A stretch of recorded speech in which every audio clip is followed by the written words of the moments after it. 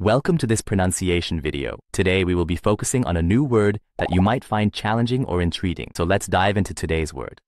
Sicht, which means, Ability to see or range of vision. let's say it all together. Sicht. Sicht. Sicht. One more time. Sicht. Sicht. Sicht. Thank you for joining us on this adventure in pronunciation. Remember, language is a journey, not a destination. Keep exploring, experimenting, and expanding your linguistic horizons. We'll see you next time.